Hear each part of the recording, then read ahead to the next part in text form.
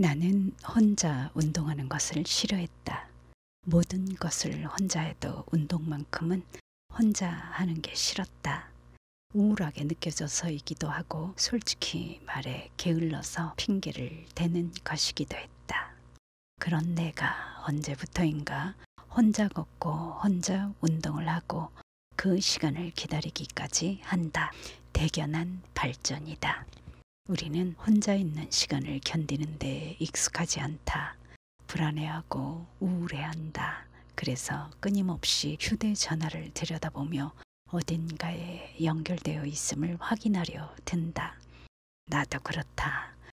그래야 안심이 되니까. 그러던 어느 날 갑자기 휴대전화가 싫어졌다. 내가 휴대전화를 소유하는 건지, 휴대전화가 나를 소유하는 건지 헛갈리기 시작했다.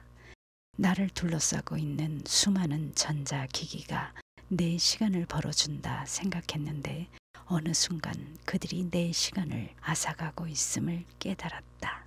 그것도 너무 많이 그래. 이제 이것들로부터 한번 벗어나 보자. 그렇게 혼자 걷기 시작했다. 휴대전화를 두고 단출하게 문 밖을 나섰다. 그랬더니 혼자 보는 달이 생각보다 괜찮았다. 혼자 보는 별도 괜찮았고 혼자서 맞는 강바람도 좋았다.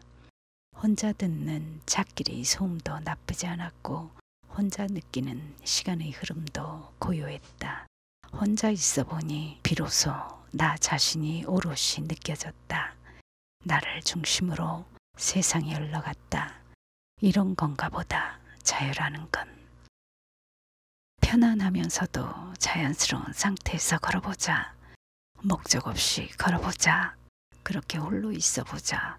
그것은 단순한 걸음이 아닌 내 속박의 영역으로부터 벗어나는 첫 걸음이 될 것이다.